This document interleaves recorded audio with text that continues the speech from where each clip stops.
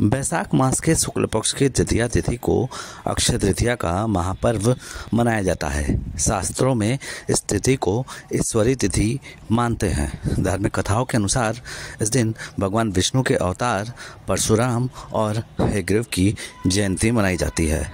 इसलिए इस दिन किसी भी शुभ काम के लिए बेहद शुभ माना जाता है। इस दिन बिना किसी मुहूर्त के शादी, विवाह, मुंडन, अन्नप्राशन सहित सभी मांगलिक कार्य किए जाते हैं। लेकिन इस बार ग्रहों के चाल के कारण अक्षर तृतीया के दिन सहनाई नहीं बजेगी।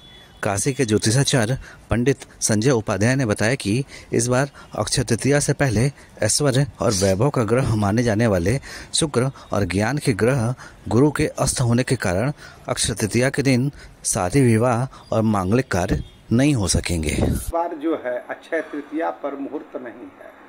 इसका कारण यह है कि इस बार पहले ही बृहस्पति और शुक्र दो ग्रह अस्त हो जा रहे हैं। ये दो विवाह के मूल कारक कहे जाते हैं। यदि शुक्र अस्त हो जाए तो मांगलिक कार्य नहीं होता है। बृहस्पति अस्त हो जाए तो कोई भी मांगलिक कार्य जो है नहीं होता है। उपनयन भी नहीं कर सकते हम।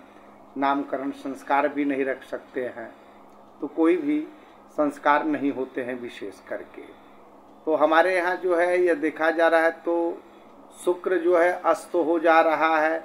शुक्र आपका 29 तारीख को अस्त हो जा रहा है, उनतीस अप्रैल को रात को ग्यारह बज के चार मिनट पर। और बृहस्पति जो है छ मई को रात को ग्यारह बज के दो मिनट पर अस्त हो जा रहे हैं। इन दो ग्रहों के अस्त हो जाने के कारण कोई भी वैवाहिक कार्यक्रम, मांगलिक कार्यक्रम पर सभी विराम लगते हैं।